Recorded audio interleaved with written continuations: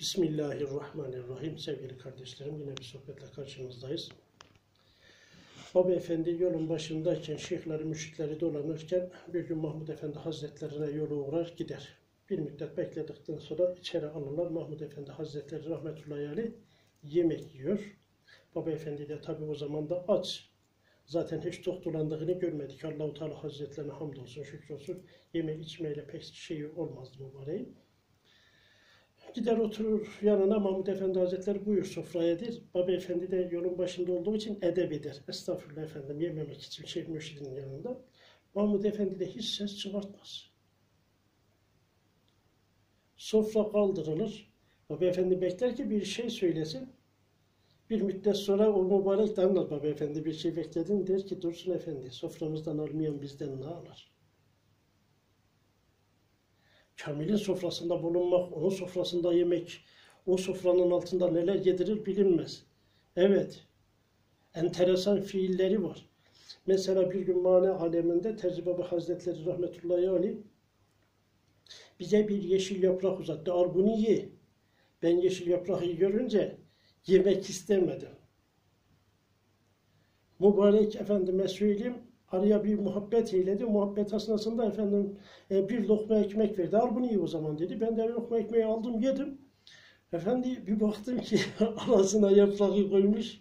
Lokma ekmeğine yaprağı bana yedirmiş. Ve ben de yedim o yaprağı. Bunlar yedirecekse yani e, itiraz etsen de yedirirler. Allah-u Teala Hazretleri şefaatlerine nail eylesin.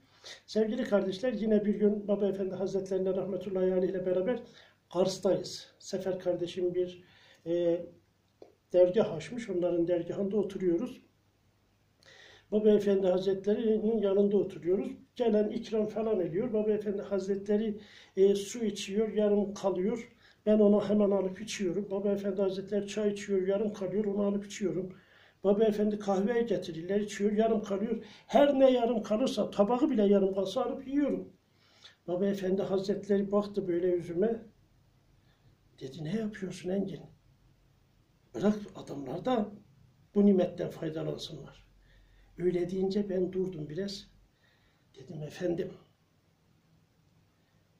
bu yiyip içtiklerim rızık mı yoksa nefsimin temahkarlığı mı? Baba efendi hiçbir şey demedi. Yani hırs ve temahımdan mı onları kaptım onlara kalmasın diye nefsimin yoksa bunlar rızıktı da bana mı nasip oldu diye. Bir şey demedi Baba Efendi Hazretleri. Yine bir gün Baba Efendi Hazretleri e, 94'te Mahir kardeşimiz Allah selametlik versin evlerine bizi davet etmişti iftara. İftara davet etmişti. İftar sofrası yerdeydi ve Baba Efendi rızık hakkında sohbet ediyordu. İşte nasipten ve rızıktan bahsetti. Kimse kimsenin rızkını yemeyeceğini, Allah-u Teala rızka kefil olacağını beyan eyledi. Biz de dedik ki Baba Efendi Hazretlerine, efendim dedim şimdi bu sofra nasip yediklerimiz mi rızık? Dedi ki evet. Dedim o zaman Yunus Emre bu sözü yanlış söylemiş efendim. Hangi sözü dedi? Tecelliden nasip erdi kimine, kiminin nasibi ondan içeri demiş. Ee, öyle dememeliydi. Ya ne demeliydi? Tecelliden nasip erdi kimine, kiminin rızkı ondan içeridir demeliydi efendim.